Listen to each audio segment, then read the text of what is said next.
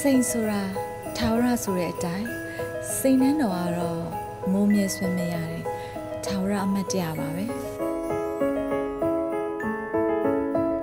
စင်တိုင်းလာမြင်တိုင်းစိတ်ကြည်နူရအောင်စိန်တန်တို့စူစည်းရစိန်နှန်းတော်တို့ကြွလန်းခဲ့ပါကျမတို့ခတ်သုံးလုံးရုပ်ရှင်ထုတ်လို့ရရဲ့ဒုတိယမြောက်ကားကိုကျမတို့10ရက်နေ့ကိုငပလီသွားကြပါမယ်အဲ့မှာရိုက်မယ်အဲ ကားအမျိုးအစားကတော့ဟာတာကားပါပဲကျမရဲ့ပါမယ့်နေရာကတော့လေအဲကျမလုပ်ရမယ့်ဟာတာကိုတော့ဒါရိုက်တာနဲ့ဇန်ညွန်းကကျမကို plot လေးတွေနဲ့ခွဲပေးပါတယ်အဲဟာတာကိုကျွမ်းကျွမ်းကျင်ကျင်လုပ်နိုင်သူများကတော့ plot တွေရောလက်တန်းတွေဟိုလက်တန်းဆိုတာတဲ့သူတို့ရဲ့ဒီဟာတာညံရွှင်မှုကိုပေါ်ကျူးနိုင်တဲ့အဲပြရုပ်တွေနဲ့သွားကြမှာပါအာကျမကထွန်းထွန်းနဲ့တွဲရမယ်အဲနောက်ဆုံးတော့ကိုကျော်ရဲအောင်ရဲ့ထွန်းထွန်းရဲ့ကျမတွဲရမှာအာဟိုပါပေါ့အန်တီနဲ့ တူလေး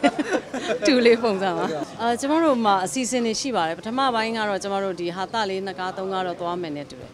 အဲ့ဒါပြီးရင်တော့ဒရာမာကောင်းကောင်းနေကျမတို့ခါသုံးလုံးကထုတ်လုပ်ဖို့တိုင်ပင်ထားတာတွေရှိပါတယ်အဲကျမတို့ရဲ့ဒီကားမှာသူနဲ့အဲ့လိုတွတ်တွတ်လက်လက်နဲ့ရဲရဲထက်ထက်မြက်မြက်ရဲရဲတင်းတင်း character မျိုးလိုအပ်တယ်ပေါ့နော်နောက်ဟို beach ကားလည်းဖြစ်တဲ့အတွက်အလှအပလေးတွေလည်းလိုအပ်တယ်ပေါ့ body structure အစပေါ့ဆိုတော့သူနဲ့ကြိုက်တယ်လို့ယူဆတဲ့အတွက် ကျမတို့ရွေးချယ်တာပါဟုတ်ပါတယ်သူက confident အပြည့်ရှိတယ်နောက်သူပြောတဲ့စကားတွေကအများအပြည့်မှန်ပါတယ်ဒါပေမဲ့အသုံးအနှုန်းလေးတွေတော့နည်းနည်းလေးဟိုမြန်မာကျမတို့မြန်မာအများရဲ့နားနဲ့လိုက်ဖက်အောင်ရွေးချယ်သုံးသင့်တယ်လို့ကျွန်မထင်ပါတယ်။အဲ့တော့ तू ကဟောနော်တေချာလေးနားလည်အောင်လိမ့်ပတ်လည်အောင်ပြောရင်တော့ဒီထက်ပိုပြီးအဆင်ပြေလိမ့်မယ်လို့ထင်ပါတယ်။ဒါပေမဲ့ဒီကလေးမမှာ talent တွေအများကြီးရှိပါတယ်။အဲကျမတို့ကတော့လာလျှောက်တဲ့ထဲကနေရွေးလိုက်တာကတော့ပထမ၄ယောက်ပေါ့နော်အမျိုးသား၂ယောက်အမျိုးသမီး၂ယောက် ကျမတို့ဒါအခုခါသုံးလုံးရဲ့ဒုတိယကားထဲမှာသူတို့ရဲ့ talent တွေကိုကျမတို့သုံးကြည့်မယ်။အဲချွန်ရင်ချွန်တယ်လို့သွားမှာပေါ့နော်။စာချုပ်တွေကတော့အခုချိန်ထိမချုပ်ထားရသေးပါဘူး။ဒီကားရိုက်ပြီးမှပဲ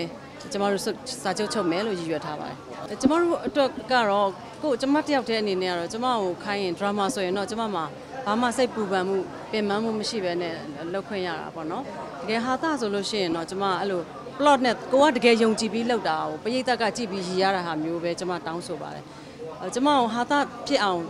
ပြောပါဆိုပါဆိုလို့ရှိရင်ကျမအဲ့အရေးချင်းမပြည့်စုံတော်တော်တန်တန်ရည်ရတဲ့ဟာတာတောင်ကျမပြောလိုက်ရင်မရည်ရတော့ဘူးလေအဲ့လိုဆိုတော့ plot နဲ့သွားတဲ့ဟာပဲကျမတောင်းဆို